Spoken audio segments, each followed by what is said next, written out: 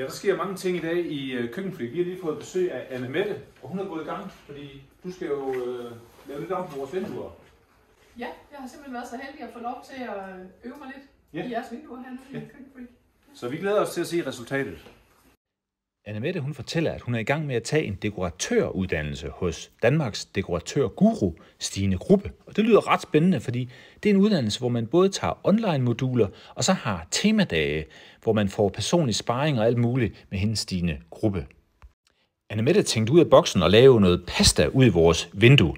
Og det var blikfang, for der var nogle børn, der aldrig havde set sådan noget før. Nå, Anne Mette, er du tilfreds? Ja, det har været rigtig spændende at prøve kræfter med Ja. at pynte vinduer ud i den virkelige verden i det. Ja. Og øh, Stine, hun har været med lidt på skulderen af mig i dag, Ja. når der er tænkt øh, på noget højde og noget lag og dybde i udstillingen. Ja. Vi er rigtig glade i hvert fald. Det lyder godt. Det italienske flag i peberkværne, det signalerer, at vi nu har fået et helt nyt vindue med det udstyr, der har at gøre med pastaarbejde. Og se her, der er der et pasta tørrestativ. Og i det andet vindue, der har vi brødbaningsudstyr, hvor vi kan se, at farverne er holdt i de samme toner.